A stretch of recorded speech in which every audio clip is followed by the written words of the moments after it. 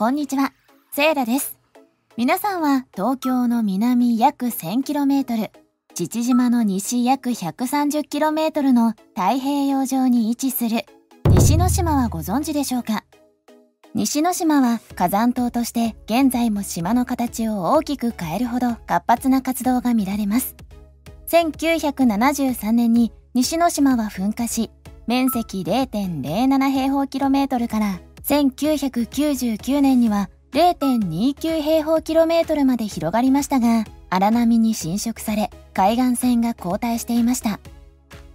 2013年の噴火では1年以上続く非常に活発な噴火活動が見られて2016年5月から地殻変動観測で火口周辺の沈降と考えられる変動が見られており6月には火山ガスの放出量の低下も確認されていますしかし2017年4月より再び噴火活動が活発化し2020年時点で噴気や周辺海域の変色が続いているのです。ちなみに1973年と2013年の噴火では沖合に新しい神道が出現しましたが後に西之島と一体化しています。2013年の噴火で西之島の南南東500メートルで海底火山が噴火し直径200メートルほどの神道が誕生しました。6日後には溶岩流が西之島の南岸に到達し噴火と溶岩流出が続き噴火から1ヶ月後には神道が西之島を飲み込む形で一体化し溶岩流の海への流入による陸域拡大と同時に波浪による侵食も受け面積は頻繁に変動しています。噴火から2年後に西之島の面積は2.29平方キロメートルと噴火前の8倍となり2019年には2.89平方キロメートルでなんと噴火前の10倍にと成長を続けています。2019年の噴火で西之島の面積が広がったことによって管轄海域は100平方メートル増えました。管轄海域とは沿岸から12海里を主権が及ぶ領海。200海里を水産鉱物資源を排他的に管理できる EEZ とする国連海洋法条約に基づいて決められています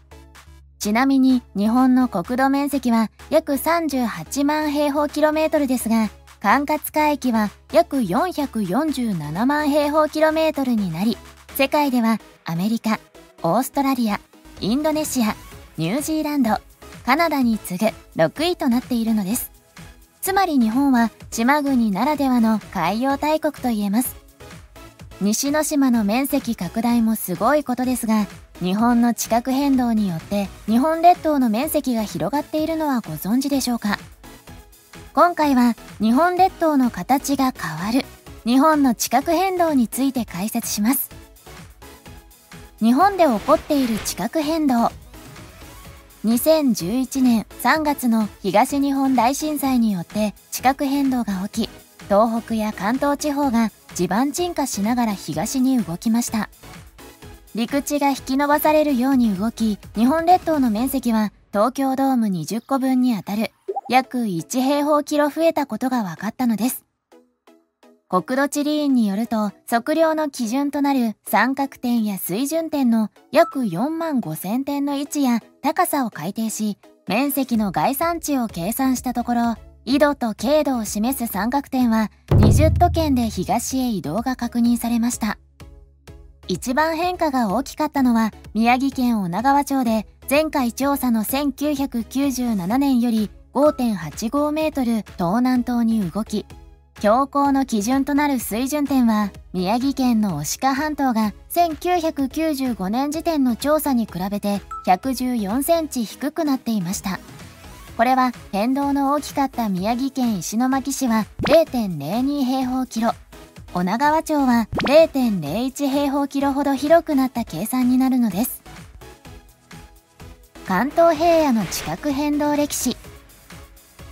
関東平野は真ん中は沈む土地で人工盆地なのですが周辺部が隆起する関東増盆地運動という地殻変動の力を受けています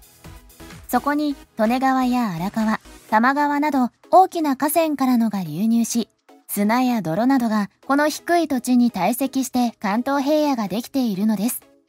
関東増盆地運動によって沈降している中心部は茨城県の古賀や東京湾北部など数カ所あります。人口の中心部に近い埼玉県行田市では古墳が田んぼの下に埋まっていたのが発見されこれらの古墳は坂巻古墳群と呼ばれており5世紀から7世紀にかけてできたものとされています古墳が作られた当時は洪水の被害を受けないような高い場所に作ったと考えられますが人口運動によって徐々に地盤が低下しやがて洪水を受けるようになり数百年の間に堆積物に埋もれてしまったと考えられます。また隆起している関東平野南部の淵の部分は多摩丘陵や三浦半島房総半島などが低地や大地を取り囲んでいてこのような盆地の淵で隆起している地域の南や東の太平洋沖には陸に非常に近いところにプレートの境界である相模トラフが存在します関東平野の成り立ちは海の中のプレートの動きが起因しています。海溝で海洋プレートが大陸の下に潜り込むと海底や海溝に溜まっている堆積物はプレートに取り残され深体を形成します。プレートの沈み込みによって深体はどんどん成長し溜まると盛り上がっていきそれが外縁隆起体または全固立地と言われるもので海溝に沿って成長しますがそれがやがて大陸の一部になっていきます。この部分が高い山や陸地を作っていき全湖立地の内陸側には人工した全湖海盆ができます沈み込むプレートが下に向かっていくので上のプレートは引っ張られて少しへこみこの海盆が陸地に現れたのが関東平野で全湖立地が三浦半島や房総半島です。また関東平野で全湖海盆が陸地に現れたのは伊豆バーが影響していると言われています。伊豆バーはフィリピン海プレートの最東端にあり、海洋プレートでありながら火山活動で形成された厚い火山性地殻です。この伊豆バーが数百万年の時間をかけて本州に衝突し続けたことによって、プレートの北端部と本州との間のプレート境界は北に曲げられ、陸に近いところに移動しました。それにより本来であれば海の中にできるはずの全湖海盆が内陸側にでき山地から川で運ばれてきた土砂が全湖海盆を埋めて広い平野を作りました。関東平野はプレートの沈み込みが陸地に近い位置で起きたため全湖海盆が内陸にできたことにより完成したのです。なぜ地殻変動が起こるのか。日本列島は北米プレートとユーラシアプレートの2つの大陸近くにまたがりさらに太平洋プレートとフィリピン海プレートの沈み込みによって2方向から強く圧縮されています。日本列島の近海にはこれら4枚のプレートの衝突部にあって世界的にも非常に珍しい位置に日本はあります。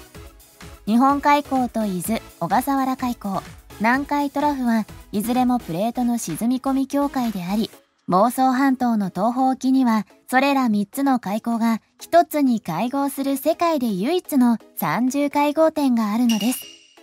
つまりこれは日本列島がいかに複雑な横力場に支配されているかを示しています。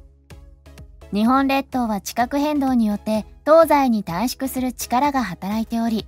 それは西に移動する太平洋プレートの沈み込み運動が原因と考えられてきました。しかし太平洋プレートの運動は4000万年以上も大体一定であったことから地殻変動の原因が太平洋プレートだとした場合日本列島は300万年前以前から東西短縮地殻変動が続いていることになります。ところがそれでは地質学的に辻褄が合わないという問題がありました。研究によりフィリピン海プレートが運動すると東北日本は必然的に西に移動するのですが、日本海の地下の基盤は硬いマントルなどで変形せず、西に移動した東北日本は東西に短縮せざるを得ないということが分かりました。このことは日本列島の東西短縮地殻変動やその変動の一端を示す内陸地震が太平洋プレートの沈み込み位置の移動によって引き起こされていることを示しています。日本海溝の西向きの移動はフィリピン海プレートの運動によって引き起こされているので日本列島の東西短縮地殻変動の原因は従来考えられていた太平洋プレートの運動そのものではなくフィリピン海プレートの運動であると結論付けられたのです。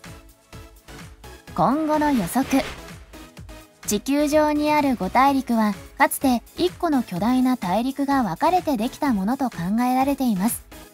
太平洋の底にはプレートと呼ばれる厚い岩の板があり毎年で8センチから10センチほどの速さで水平にゆっくり動いています。その結果ハワイは約5000万年後に日本付近に近づき最後に日本列島の下に沈み込むと言われています。同様に他の大陸もプレートによってゆっくりと移動しており大西洋は現在でも広がりつつあり北アメリカ大陸とユーラシア大陸また南アメリカ大陸とアフリカ大陸は離れつつあるのです。地球は46億年の歴史を持ちますが数億年ごとに大陸が合体と分裂を繰り返してきました。そして現在の5大陸もいずれ集合し約2億年から3億年後には超大陸として合体すると予想されています。まとめ。日本列島にはプレートの動きによって様々な力が働き、地殻変動も起こっています。それだけ日本は非常に珍しい位置にあり、いかに複雑な応力場に支配されているかを示しています。地殻変動によって日本列島の面積も増えた前例もあるため、今後も目が離せないですね。最後に皆さんに質問です。将来、地殻変動によって日本の面積は増えると思いますか？それとも減ると思いますか？皆さんのお考えをコメント欄でお待ちしております。それでは今回の動画は以上です。また次の動画でお会いしましょう。最後までご視聴いただきありがとうございました。チャンネル登録、コメントよろしくお願いします。皆さんの応援が励みになります。